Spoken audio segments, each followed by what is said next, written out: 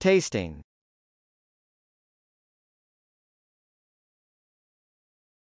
Tasting.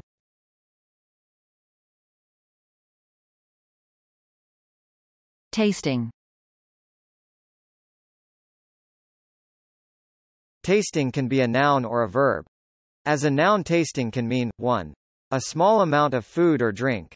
2. The taking of a small amount of food or drink into the mouth in order to taste it. As a verb tasting can mean, the participle inflected form of tast.